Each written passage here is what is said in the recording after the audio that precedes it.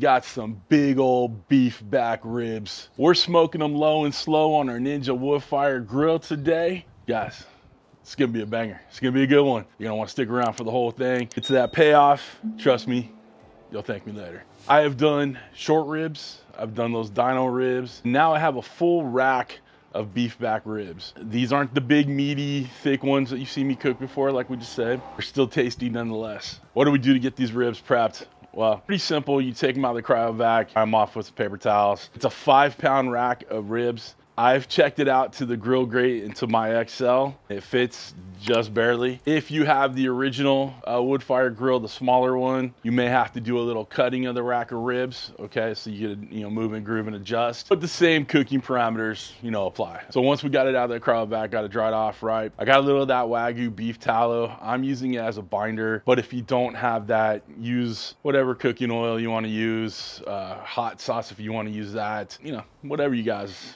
you know want as a binder. These ribs are relatively dry, so I wanted a binder on there so it'll hold the barbecue seasoning I'm using. With that, I am using a barbecue rub that I got when I was in Texas. I was in Houston a month or so ago, and I grabbed a couple few bottles of rubs out there. So this is Meat Church Holy Gospel. They're a big Texas barbecue company out there. I know you can find it online, but guys, use whatever barbecue rub you want. So it's seasoned up both sides. Now, the difference between doing these beef back ribs and the baby back ribs or the pork ribs that you see me do, I am not pulling off the membrane at all on the back. I'm not even touching it. With the beef ribs, you want to have that membrane on there. At least I feel you need to have that membrane on there and it kind of keeps it all together. keeps the structural integrity of the ribs because you're cooking them low and slow. They're going to break down a lot more than they would like with pork ribs. So they'll, they'll, you know, fall apart a little bit more easy if you don't have that membrane on there. And plus with that membrane, there's a bunch of fat underneath it, which is gonna help render and then make your uh, beef ribs juicy. So with these beef ribs, I do not take the membrane off the back. You make your own call on that one, but that's just the way I do it, or well, don't do it in this case. Ribs are set up, seasoned up. They're sweating in there right now. They're chilling. We're about to get this bad boy fired up. Uh, we're gonna use Bear Mountain Pellets cherry wood flavor. Okay, got it all set up. Let's go turn it on. We are smoking them at 250 Fahrenheit. So I'll put the Celsius right here, right? And then uh, we're gonna take them to about 175, 180 and then I'm gonna wrap them in tin foil, spritz it down with a little water, wrap it up tight with that foil, just so we can give it a little steam in there, a little braise in there. We'll take them up to about 205 or so, let them rest. I'll be checking my temperatures with my handy dandy lightning instant read. Being that it's a you know kind of a thin beef rib, you're not gonna need to put a temp spike in there or any other probe. You're just gonna watch it with this. We're gonna start off by checking it with this thing every half hour or so until it gets to that 170, 175, and we'll wrap it up and we'll finish it up. I can't imagine this cook's gonna take more than two hours, but at the end of the video, I'll let you know where we're at. Cool? Cool. What do you say? Let's get this bad boy fired up. I'm gonna turn our bad boy on. Hello. Good morning. How you doing? Take it to the smoker mode. Gonna back this down to 250. Two hours. Uh, you know what? Let's just pump that up to three so we don't have to mess with it later. And let's hit start. Let's get that smoke rolling.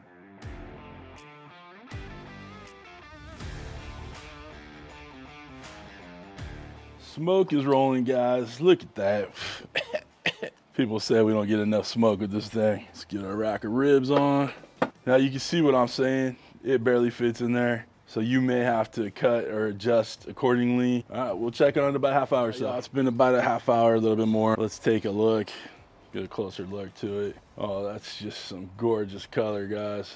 Ooh, look at that. All right, let's take a temp. We're about 150, 160. I think we give it another half hour. We should be where we want to be when we wrap these up in some foil. More than an hour in. Let's check some temps right here in the middle. About 175 or so. You see it's kind of curled up. Got a little pullback on the bones in there. Let's go ahead and get this wrapped up in some tin foil and we'll get it back on. Let's get our rack of ribs on the foil. I'm going to add a lot more of this holy gospel on there just to add, you know, to make sure that we're to make sure that we're keeping the good flavors going. It'll mix with a little bit of the water, a little bit of the juices in there. I'm just gonna add just a touch of water in there. It's gonna help steam, braise in there a little bit, keep everything nice and tender. I'm gonna save you all the noise of wrapping this up in the foil. We'll put it back on the grill when it's wrapped up. All right, we got them back on the grill. They're nice and wrapped up tight. Get it shut down. See you about an hour or so. And we let this go. We let it go the full three hours, but now it's temping out evenly all the way through. It was temping out, you know, 160 over here, but 200 over here. So I just wanted to let it go the whole time. So that's why we're doing that. Now we're just gonna let it rest for about an hour or so, and then uh, we'll uh, chop them up. Got a little breezy out here, guys, so bear with me if you get a little wind noise. These have been resting for a good hour or so. These big old beefy ribs. Let's go ahead and just slice one off. Now you can see that, you know, the meat is pretty minimal in there, but still tasty nonetheless. Look at that, it looks just tender, juicy, gorgeous. All right, let's take a bite. What do you say? Sorry for the wind, got a little breezy out here. Got a good bite right in the middle. Let's go. Oh. They're just falling right off the bone, baby. Mm. Mm-mm. Remember the napkin this time? Good. That's a hit right there. Mm. All right, let's recap it real quick before I get blown away here. 250. Ended up going three hours because it was a little uneven on the temps when I would check one side to the other. Three hours. Let it rest for about a half hour, 45 minutes. Wasn't quite paying attention, but perfectly nice, tender, easy. Set and forget it. Pure ribby goodness, baby. Mm.